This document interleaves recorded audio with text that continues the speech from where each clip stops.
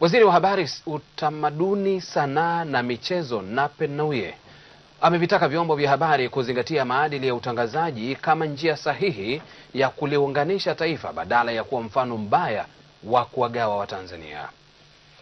Waziri huyo wa Habari, Utamaduni, Sanaa na Michezo amesema hayo jijini Dar es Salaam katika uzinduzi wa kamati ya maudhui ya Mamlaka Mawasiliano Tanzania na kuagiza mamlaka hiyo kudhibiti maudhui yote ya utangazaji na kutoa mafunzo stahiki kwa watendaji. Tujiunge na mwandishi wetu Lea Mushi kwa taarifa zaidi.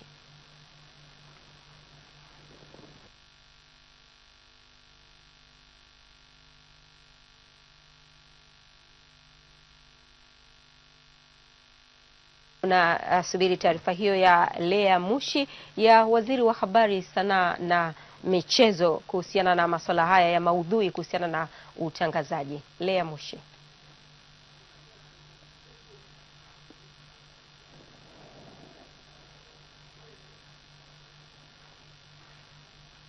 Ofisi za mamlaka ya mawasiliano nchini TCRA, waziri wa habari, utamaduni, sanaa na michezo Nape Nnauye anatembelea hapa ili kujionea shughuli za mamlaka hii, ambapo anatembezwa sehemu mbalimbali ikiwemo makumbusho ndogo ya TCRA, ambapo hapa mkurugenzi mkuu wa TCRA Dr. Ali Simba anamwomba waziri huyu kuwasaidia kupata vifaa vya zamani kutoka katika shirika la utangazaji TBC. Sisi tutashukuru ukitusaidia kwenye kuposha, kwa sababu kwa kweli hata ambao tunapenda kutoka taasisi za serikali tatizo lake ni hilo, linachukua muda mrefu sana.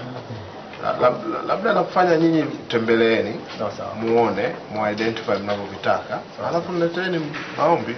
Baada ya ziara fupi, waziri Nape anazungumza na wajumbe wa kamati mpya ya maudhui na kuiagiza kuhakikisha vituo vya utangazaji vinazingatia sheria ya maudhui ya Kitanzania kwa asilimia sitini na kuitaka kuhakikisha maudhui hayo ni ya kizalendo.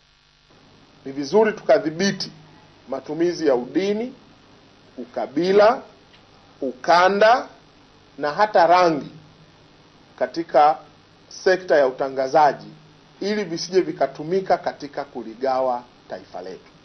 Waziri Nape pia akaitaka TCRA kuzingatia haki na kutatua malalamiko ya wadau wao, huku akiitaka kuwanyang'anya masafa wale wote wanaopewa lakini hawayatumii. Tuone namna ambayo tunaweza kuifupisha ili kasi ya, ya, ya serikali ya awamu ya tano iendane na kasi yenu ya ku, ya, ku, ya kuwanyang'anya wale ambao wameshikilia masafa bila ya kuyafanyia kazi. Nadhani lita, litapunguza sana malalamiko ya watu wengi.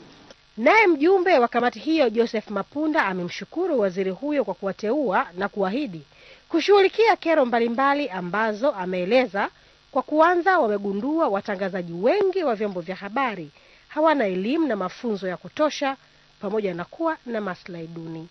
Lea Mushi, TBC, Dar es Salaam.